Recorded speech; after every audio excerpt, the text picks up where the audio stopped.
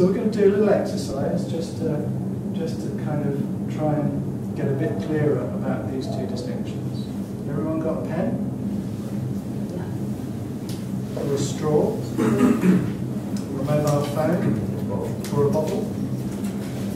Anything, anything you can hold in your hand in front of you. Great. Okay, so I'm just going to quickly give you some instructions and then we'll do the exercise. So the first thing I'm going to do is ask you to study your object, my pen, with your five senses. We'll do that for 30 seconds. Then I'll ask you to put it down. I'm going to ask you how much of that you could remember by closing your eyes if you happen to do that. Okay? All clear? So we'll do 30 seconds, using all your five senses if you want. If you have a pen like me, you might want to avoid the taste. But mm, off you go, 30 seconds.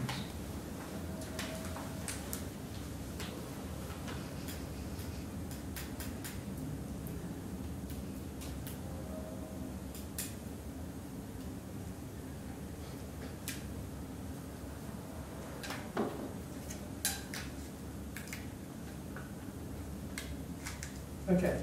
So now put your objects down, somewhere where you can't see them, preferably. And if you're happy to do this with your eyes closed, you can close your eyes. If you're happy to do with your eyes open, you can open your eyes. It doesn't make a big difference. And now just for 15 seconds, see how much of that you can remember or recall. I will keep the time.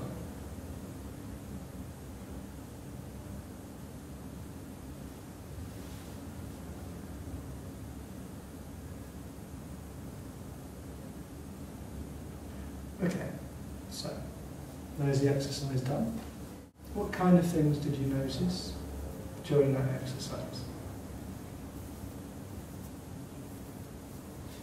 A lot more awareness of what I actually had hold of Right. than what I had, what I had originally.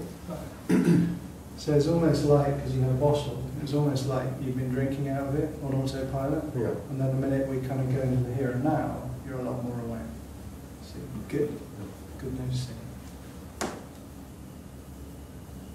Yeah, mine was I was much more focused kind of on the the, the object itself with my touch actually, and it was quite it was quite hard and felt quite cold. But I actually I kind of use one every day, all day long, and I write some quite powerful stuff with, when I use one related to my work.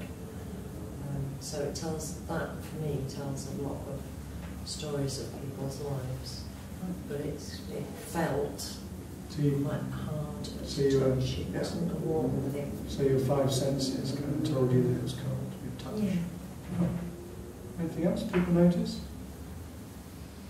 I noticed, I noticed that I was using the straw for more things in my mind. Like 15 seconds seemed a long time, so when I'd recreated everything, I was going on to doing other things. I noticed my mind was doing other things. Right. So you also notice your mind could wander off Yeah. when you're doing that. I guess it's probably fair to say, usually when I do this exercise, everybody can see it. Yeah. Probably everybody can feel it if you think about it. Like, could, every, could everybody like remember something about it? Mm-hmm. Yeah. And also, in my experience of doing this exercise, people are usually very clear about the difference between the second part of the exercise, when you're thinking about it, and the first part of the exercise when you're actually using the five senses. Is that difference really clear to you? Yeah. So again, here's something that's very simple, right? Just like this. It's a very simple idea. But, but maybe in practice, this thing's not such an easy idea either.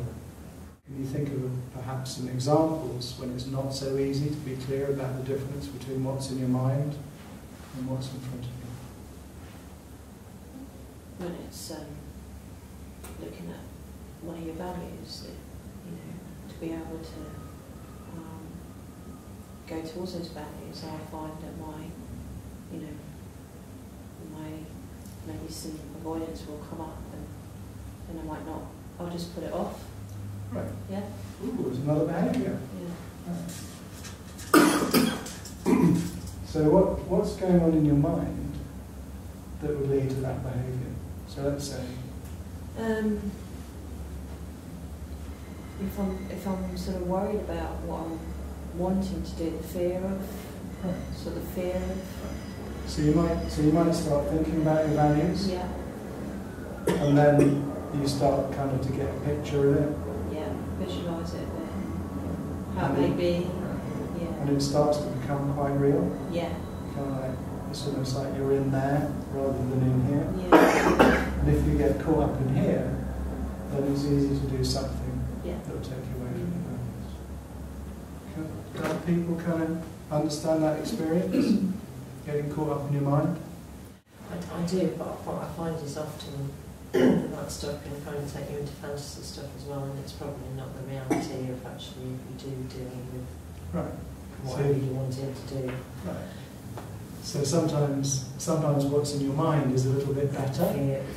Yeah. No, I think it, I think it can be worse in your mind. right. If I like think about stopping smoking, Right. you know, all the fantasies that come along with that, Uh, the anxiety I'm going to suffer and this and that and blah blah blah. And actually, I stopped for two weeks and it was brilliant. right. So the actual act of doing it was easier than my fantasy was, Right. than the fear of it. So your mind says, oh my God, this will be really terrible. You buy into your mind, what's the behaviour? If you buy into that, it's going to be terrible. What happens to your smoking? I, I, I continue to I continue to suffer. Yeah, and I continue to Exactly. smoke. Whereas when you're in the here and now, and you know it's not like that, it perhaps increases the possibility that you might move in a healthier direction than you're smoking. Okay. Yeah. Yeah? Does that make sense? Yes. So that the trouble with this is, is that before we know it, very often we're over here. Mm. And if we spend time thinking about some of these behaviours and what goes on in our mind, I'm sure for each behaviour there's something going on in here which drives that behaviour because we're not in the present moment. So this, this approach is really about that. It's about learning to sort of detect the warning signs. I'm over here, we're over here. Come into the present moment so that you can disconnect your autopilot start going back to your values. And that is it. So it's not like a it's not like a degree in learning some fantastic new sort of technology. It's very, very simple. It's these two things. Very simple idea. It's very hard to do. So it requires practice. So it's more like lifting weights. It's more like going to the gym than it's like going to the university. Is it making sense?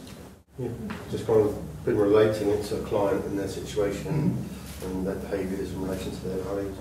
Tell us It fits, it fits very well. Do you want to tell us about it? Um, this particular client who's um, values his family and children, that kind of stuff, his behaviours, and the wrong side of the law, um, if we like.